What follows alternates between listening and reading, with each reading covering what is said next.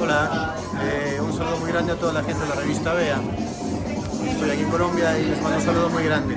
Gracias.